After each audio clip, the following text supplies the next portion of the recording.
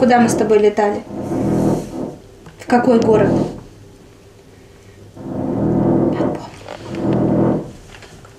Москва. А в каком ты городе живешь?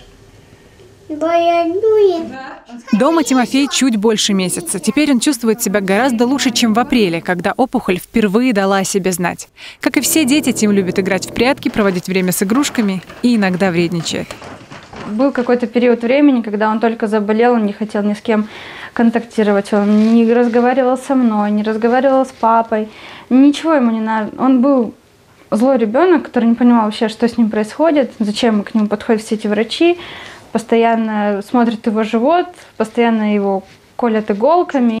Теперь Тимофей больше не злой. Сейчас у малыша ничего не болит. О страшном диагнозе напоминают непрекращающееся лечение и паломничество в поликлинику на анализы. Дома хорошо. Все нас, конечно, тут ждали.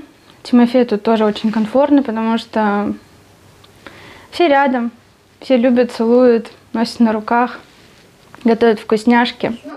Диагноз Тимофея – нейробластома надпочечника. Малышу уже удалили опухоль и провели химиотерапию. С таким диагнозом врачи обычно дают не больше 20% шансов на жизнь. Иммунотерапия может повысить их до 90%, но на эту процедуру нужны были деньги – 15 миллионов рублей. В Инстаграме открыли сбор. Сумму удалось собрать меньше, чем за 4 месяца.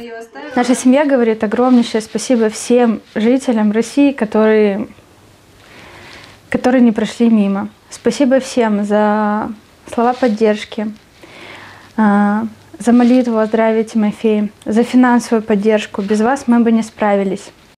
Деньги отправляли простые люди, волонтеры из фонда помогали устраивать лотереи и благотворительные концерты. Теперь сбор закрыт. Уже на следующей неделе Тимофей с мамой полетят в теплую Барселону. Там они проведут 8 месяцев. Но даже в Испании не до отдыха. Малыш снова будет бороться с болезнью. Прежде чем начать курс иммунотерапии, врачи должны убедиться, что рак отступил. И только потом. Сложный процесс лечения. Арида Миллер, Илья Халяпин. День с толком.